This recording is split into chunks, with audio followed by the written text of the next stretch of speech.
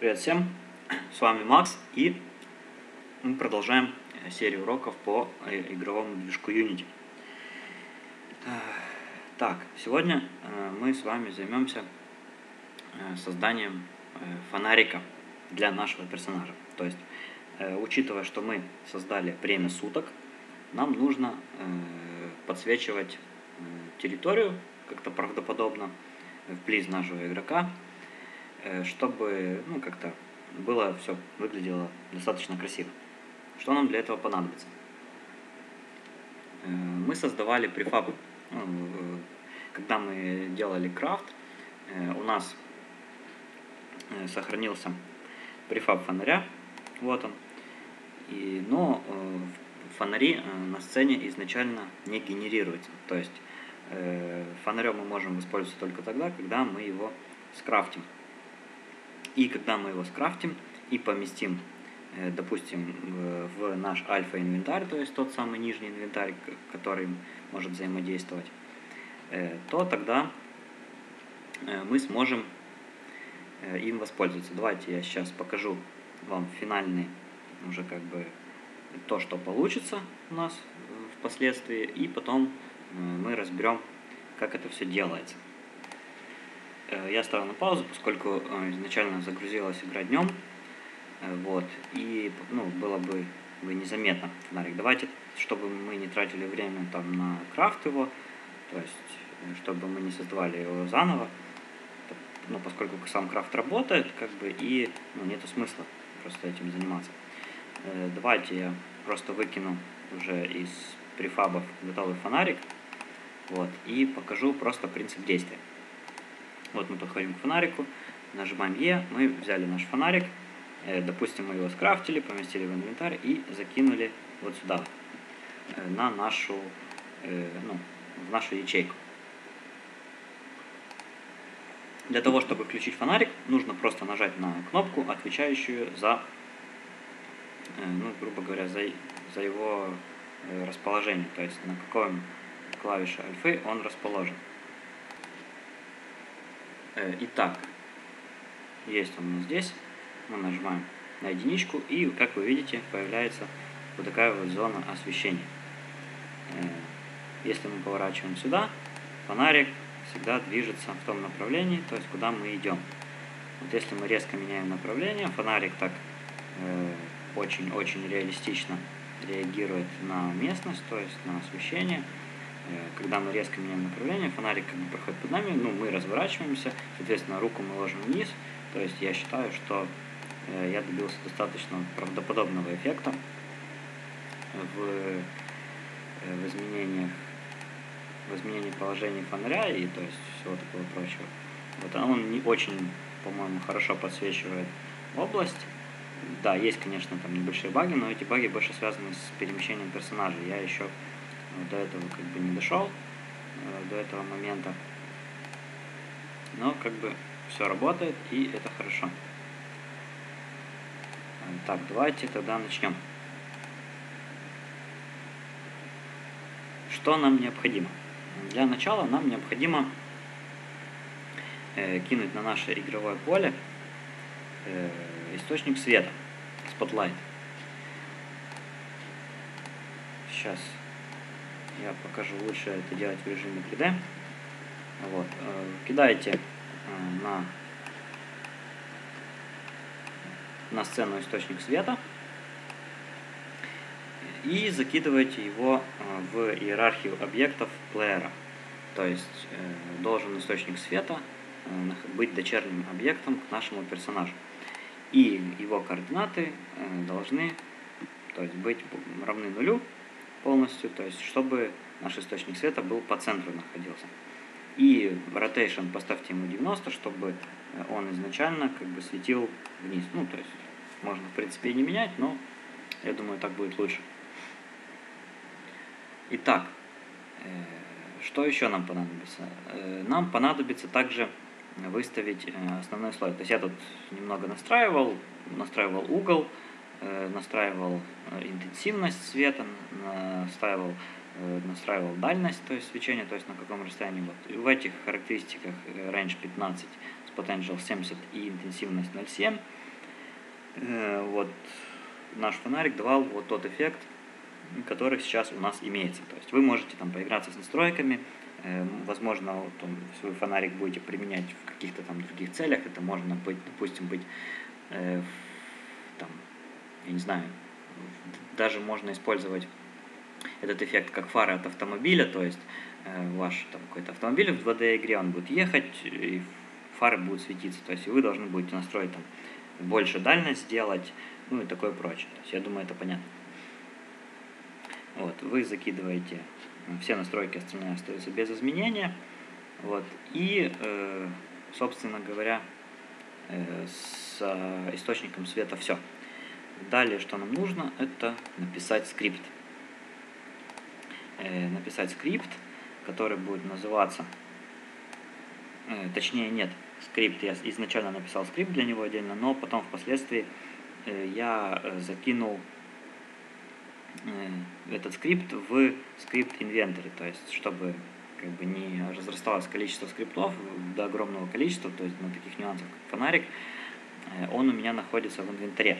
Изначально я его написал как отдельно, но он использует то есть некоторые ну, учитывая, что фонарик взаимодействует э, с клавишами нажатия в инвентаре альфа, э, все такое прочее, я посчитал нужным закинуть его вот именно туда. И сейчас я вам расскажу, э, что потребуется сделать для того, чтобы реализовать весь алгоритм. Из переменных нам нужно объявить две публичные переменные. Одна будет отвечать за включение и выключение фонаря, она типа bool, Э, она называется Visible Phone, with Phone, и она по умолчанию false. То есть по умолчанию у нас фонарь отключен, у нас его нет вообще, и, соответственно, светить он не может. И также нам нужно э, создать переменную типа GameObject, в которую мы закинем, собственно, э, непосредственно наш префаб фонаря, поскольку мы будем работать с его компонентами. И а, нет, я извиняюсь. Сюда надо будет закинуть не префаб фонаря, а наш источник света. Э, вот этот вот э, наш spotlight. То есть вот с этим элементом мы будем работать. Ну и по умолчанию его надо выключить. Э, наш, то есть вот эту галочку надо выключить. То есть сделать неактивным компонентом. Э, все, с переменными все. Теперь давайте посмотрим на код. Э, в, у нас э, в, есть, существует такой регион, он называется альфа-пресс. Этот регион отвечает за нажатие клавиш. Как вы помните, мы создали для нажатия клавиш на, на еду, на оружие, на стройку, и теперь у нас есть регион фонарик. Э, какое же здесь условие? Условие здесь только одно. Вот, оно охватывает, то есть это коллекция условий, условия я их так называю, то есть одно условие, э, либо одно, либо второе, либо третье, либо четвертое, то есть это условие нажатия на клавишу, то есть каждый отдельный блок. То есть если нажато э, клавиша 1, но предпроверка условия нажатия клавиши 1 это не пуст... Э, наличие не пустой ячейки, то есть если ячейка э, нулевая нашего альфа-массива не пустая, и нажата клавиша, соответственно, этой ячейки, и э, в этой ячейке лежит предмет, то есть э, GameObject с именем фонарик, а именно такое имя носит у нас префаб фонаря, которое мы впоследствии создадим, вот он, фонарик, э, то э, таким образом мы э, выполняется условие, и мы visible phonor то есть нашу переменную присваиваем не visible phoner, то есть мы инвертируем значение. Так как у нас значение по умолчанию было false, то у нас значение ставит true. И дальше мы проверяем условия. Если значение нашего фонаря true, то есть если фонарик включен, то мы э, наш GamePhoner, то есть ту, ту самую переменную, которая отвечает у нас за spotlight, мы находим компонент light и элементарно включаем его enable true ставим. И также, э, если э, у нас э, фонарь fails, то мы отключаем. Вот, казалось бы, и все. Но то, что мы описали сейчас в этом, в этом в части кода, оно отвечает у нас только за включение и выключение самого нашего фонаря. В 3D играх, чтобы вы понимали, если бы мы закидывали наш фонарь на персонажа, вот, и персонаж, и, соответственно, бы Э, оборачивался в разные стороны, то есть влево, вправо, вверх, вниз, и фонарик бы, соответственно, двигался за ним. Так как у нас наш GameObject э, не, то есть для поворота мы используем спрайт, то есть вверх, движение вверх, вниз, влево, вправо у нас осуществляет спрайты. На самом деле э, наш игрок-плеер, он никогда не разворачивается, то есть он не, не меняет свое направление движения, то есть rotation – у нас изменяется только position. Rotation нашего персонажа не изменяется. Но для того, чтобы э, rotation изменялся у нашего spotlight, у нашего этого, мы должны э, сделать такую вещь. Мы должны залезть э, к нашему плееру в э, плеер контроллер наш. То есть мы, когда мы производили вычисления с перемещением, то есть когда я делал перемещение с помощью э, мышки, я просчитывал в, вместе с вот здесь вместе с э, поворотом позиции камеры и с направлением я просчитывал также и rotation, то есть э, просчитывал, э, так сказать, э, просчитывал rotation, то есть э, угол поворота нашего, грубо говоря, персонажа по отношению к э, месту нажатия. То есть, когда мы нажимали на определенном области экрана точку, мы двигали просто туда персонажа, не разворачивая его. Но сам разворот мы просчитывали, то есть на какой разворот должен был бы развернуться наш персонаж. Поэтому эту переменную мы и будем использовать. Э, использовать мы будем ее только тогда, когда э, наш а, объект двигается, то есть в условии, когда trans-v и trans-h у нас не равно нулю.